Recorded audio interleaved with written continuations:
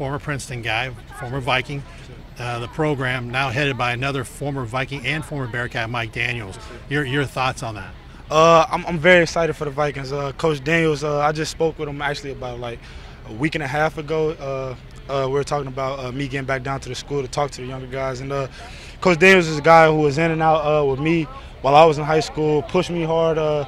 any chance he had to get in and just help me out, he was always helpful for me.